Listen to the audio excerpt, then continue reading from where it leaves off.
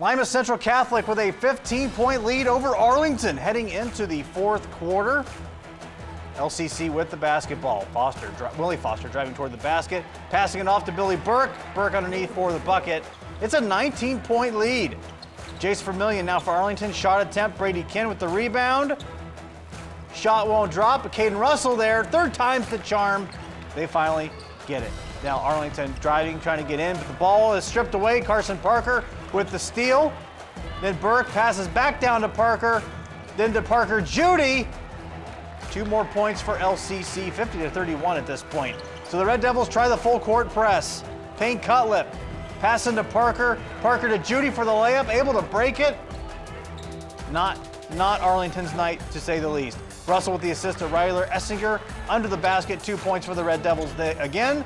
And then three-point shot for Luke Metzger is good, but LCC picks up the win, 54 to 40.